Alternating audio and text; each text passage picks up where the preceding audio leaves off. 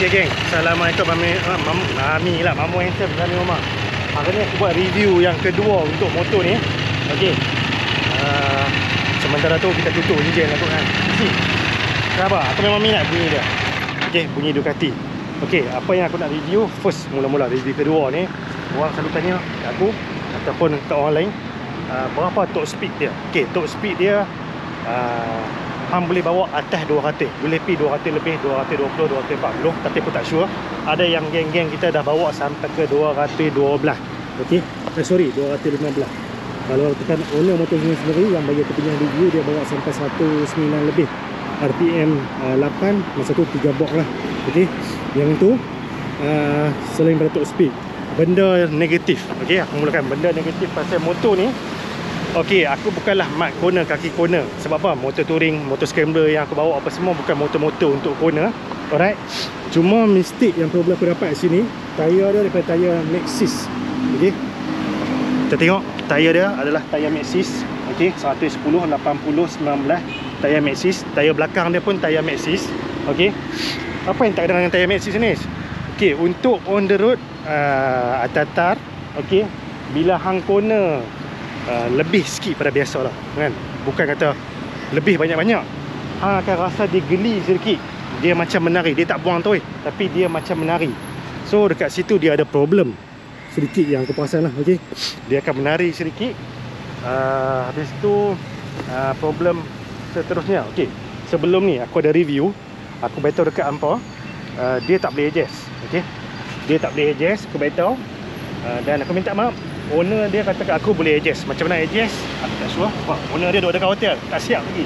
Ok kemudian bahagian atas dia bahagian atas dia sini ok ada aksesori boleh adjust. So senang kata dia uh, adjustable. Macam mana? Confirm macam mana? Yang tu hampa sendirilah uh, cari ok uh, walaupun bunyi dia bunyi ala-ala Ducati tapi pipe dia rupa pipe dia macam macam macam GS 1002 So Okay kat situ. Saat aku ubah setting. Kau tak boleh ubah setting. Alright. Jadi review seterusnya. Okay. Motor style touring. Motor style touring Bila Sebab dia ni ada dua spek. Satu yang Rim 17-17 Sport rim Jenis sport Dia 19-17 Ada beza. Siapa yang gila top speed Gila corner. Okay. Apa lebih minat ke arah tu Jangan ambil model X Model X ni siapa yang jenis bawa ganas Kemudian hampa suka off-road sedikit Hampa tak apa tak suka nak elak lubang sikit Dia lebih sesuai. Sebab apa? Dia susah nak bengkok. Bila kita kena lubang dia kurang bergerak ha, Yang tu sifat dia. Kemudian jenis ni Bila hampa bawa atas 1.4 Hampa rasa macam dia vibrate sedikit. Tu adalah normal Kalau hampa bawa. Ha, Macam dulu aku bawa GS uh, 800 Kemudian aku bawa sama KTM 790 Adventure tu aku bawa GS 1002 Penyakit-penyakit yang sama sebab apa? Kita dua piston ya. Rim depan besar.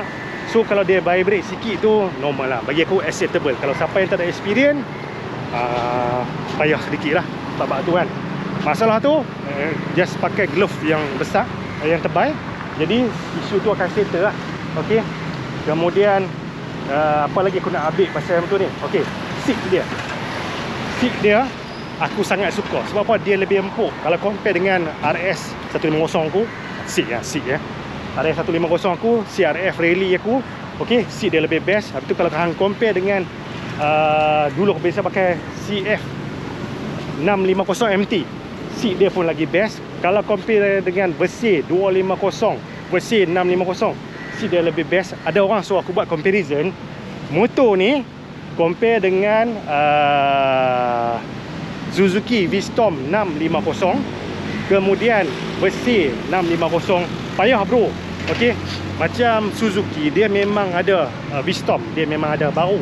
Harga baru dia lah uh, 40 ke 43 45 sama lah dia ni pun 40 sampai ke 45 cuma brand boleh naik beza dia ni dia main original dashboard dah dapat rack belakang dah dapat side box top box dah dapat 3 Okey, cuma besi grill depan tu yang tak dapat. Hal lain aksesori dia bagi siap.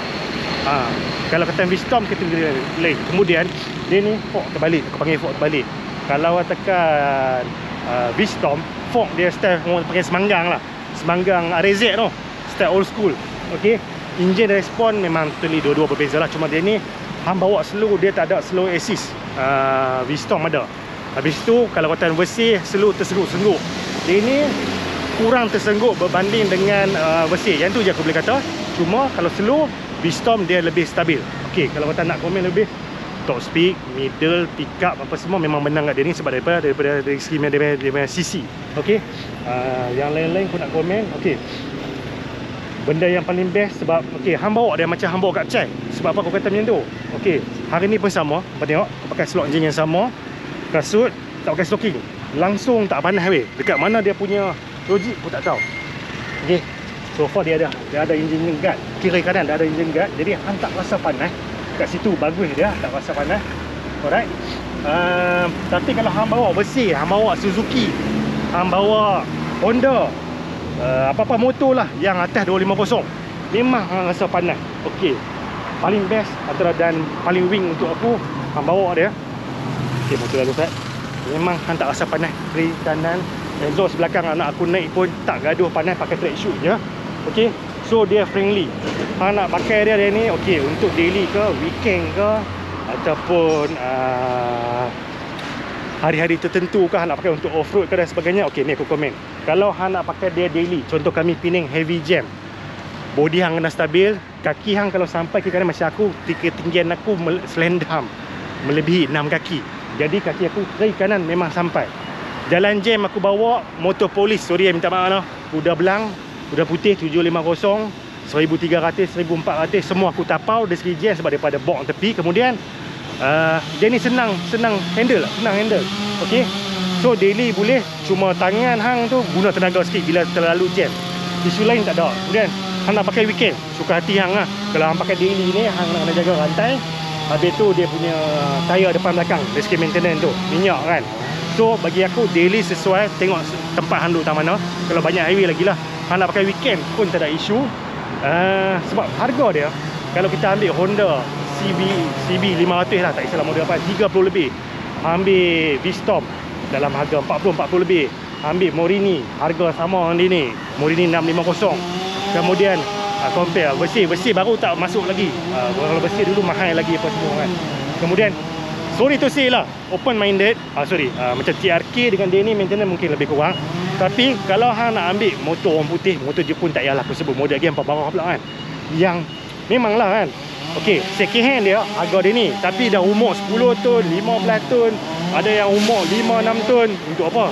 Dan basic ni yang best dia kurang elektronik total dia bayar wire lagi. Betul dia tak banyak. Kemudian uh, kalau kata cakap-cakap tembok ni persamaan dia lebih kurang dengan Tenere first version 700cc world, worldwide tu kan. Okay. dia tak banyak elektronik jadi kos selenggara dia insyaAllah ok cuma kalau katakan enforce ataupun mana-mana kan ini di Malaysia jaga after sale dia memang HRT 800 harga bawa mesra lama ok kakak tu je aku review dia. Kalau ada soalan hampa tanya lagi. Ciao